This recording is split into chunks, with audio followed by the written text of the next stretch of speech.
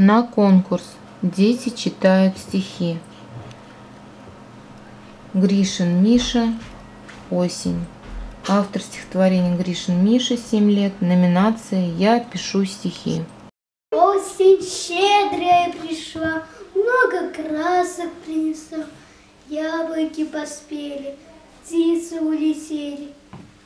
Дождик начинает капать, ветер дует холодней наступает и становится грустно.